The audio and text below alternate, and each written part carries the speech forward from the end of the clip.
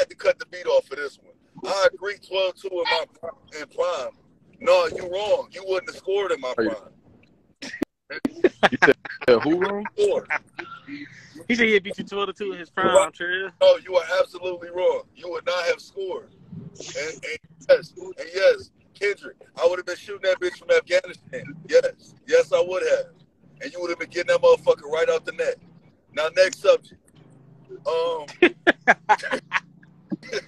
what? What's You said regular Jimmy Deon? Regular Jimmy? Jimmy Buckets. Jimmy Buckets.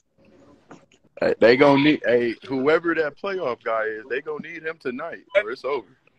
Well, I'm gonna tell you the truth. They need they need playoff Bam, because Bam Yeah. be so. You know, He got all the tools. He needs to, he need to be more aggressive, man. On Hey. offense.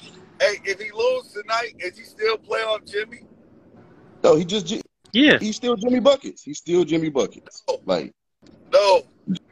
Jimmy Buckets. My thing though is, is um He earned that. He earned Jimmy Buckets. He got that. is, is, is there a difference with Boston? Are they playing different or well, what's the difference They are. for the last But two they're games? desperate. They They are- are playing very are. Joe Joe Mazzulla made an adjustment to that zone instead of just standing there looking stupid like they were. Uh, and Jaylen Brown made some shots.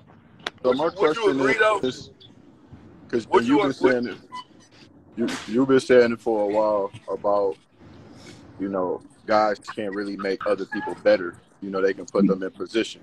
Yes, like that. So I really a, that's a think myth that people made up. I think Jaylen Brown is just playing. Him and Smart is just playing smarter. You know what I'm saying? Well, they they they moved them to different places on the full, on the floor. They it's like, like dribble dribble drive and drift. Um, So My when Jaylen get on. He, he got off last time. I mean, let me Okay. get it in.